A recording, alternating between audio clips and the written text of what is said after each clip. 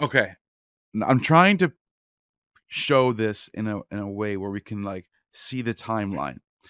Because if I'm not mistaken, is it because okay, Zeno or not not Zeno, um Parmenides comes from what was a part of the Persian Empire, and which is modern day Turkey.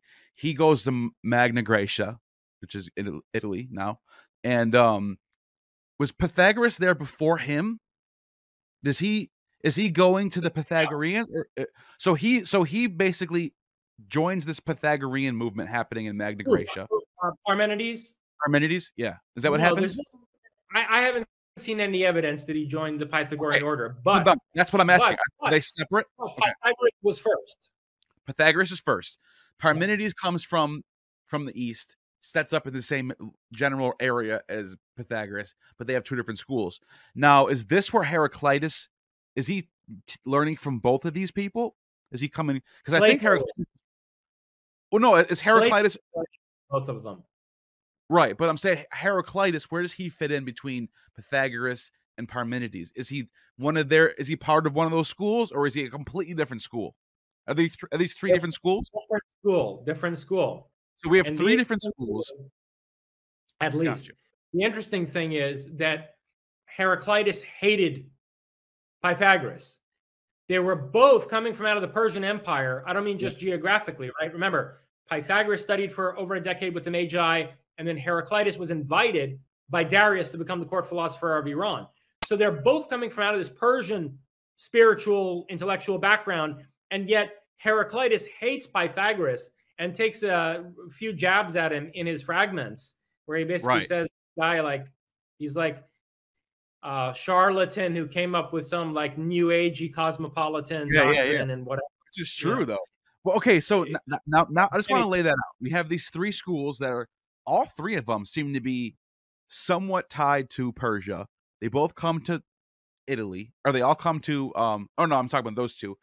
Then Heraclitus has his own thing.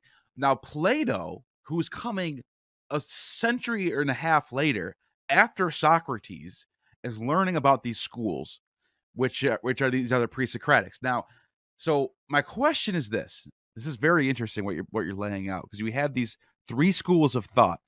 Is Plato trying to unify them? What is what is he trying? And what is what is his goal in in in like straw manning these brilliant thinkers? What is he trying to do with these three schools of thought?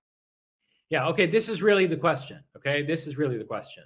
So, in order to answer that, we need to step back and look at the world into which Plato was born. Okay, and the time, the time, you know, and society uh, of these men that we've discussed so far. Homer is often misunderstood as a literary figure and as a poet in the contemporary sense.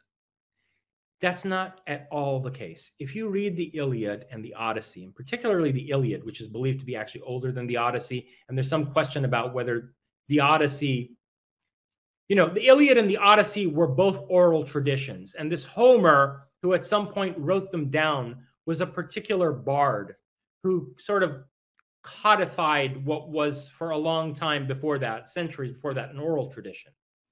Uh, but the world that's revealed by the Iliad and the Odyssey is one where basically people are the playthings of fate uh, and you know are at the whim of the gods and don't have uh, hardly a, a thought that's their own or a conscience of their own at yeah. any moment when someone quote unquote comes up with an idea in the Iliad, it's because some god suddenly came in and gave them a particular inspiration. Like Eros. thought into the Eros yeah. comes up with his bow and strikes you. Now you're in love with somebody. That's yeah, that's or the idea. Achilles is by anger, or when Achilles is seized by anger, or when you know any passion that seizes a person is attributed to the influence of a certain god.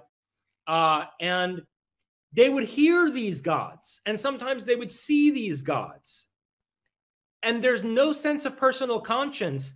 All of the actions taken by the heroes or the villains in the Iliad uh, uh, are, are basically either dictates of one or another god or they reflect some deeply ingrained social custom and ritual.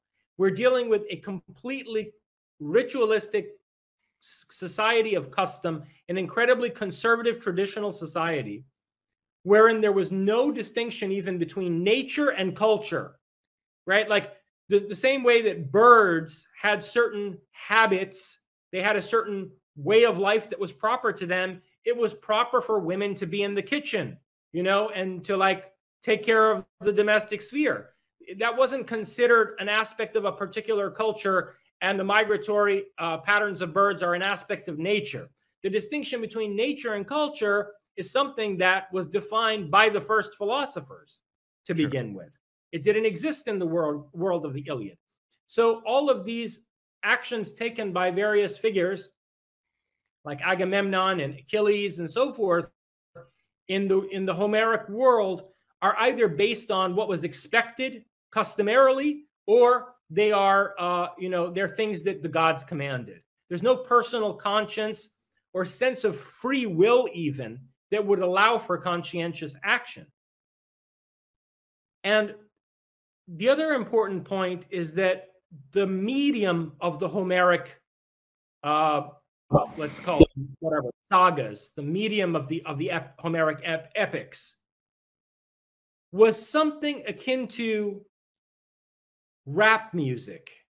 It was it was recited and performed in a way where the the tempo uh, and um, modality of the poetic performance was meant to sort of contagiously move the audience in a way where they embodied the message being delivered through the medium a book that's been written about this is uh, Eric Havelock's Preface to Plato. So I, I refer people to that, Havelock's argument in Preface to Plato, where he's saying that we shouldn't think of Homer as poetry in anything like a contemporary sense. It's more like a cultural encyclopedia yeah. of like for example there's huge passages on shipbuilding in the Iliad like how to build ships He's the internet. That knowledge was transmitted through this poetry, quote unquote. Okay, via the, the oral. Orphic, the Orphic and Homeric hymns are the pre- predecessor of the internet. Is that would you would you agree with that statement? Well, there's something to that in the sense that the internet is becoming uh, yet again a a kind of highly mimetic medium the, the core idea in Eric Havelock's study, Preface to Plato, is the idea of mimesis or mim, uh,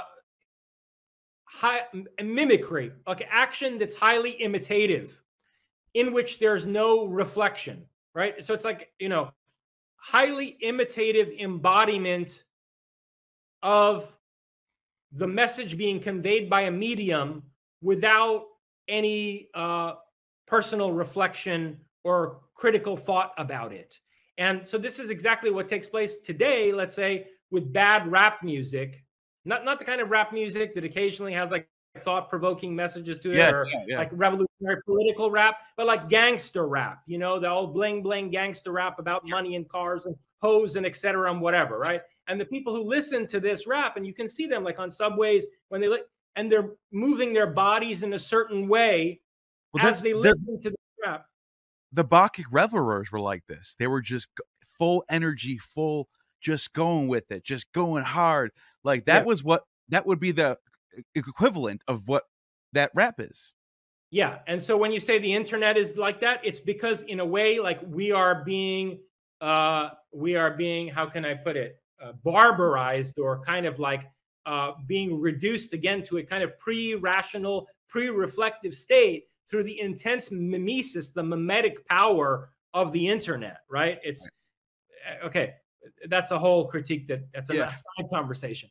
But point being, Plato was dealing with a society where that's what poetry is. And this poetry is totally corrupting children with all kinds of stories about, you know, sadistic and manipulative gods like Zeus who use people as their playthings and engage in you know, rape all the time on, you know, using various disguises.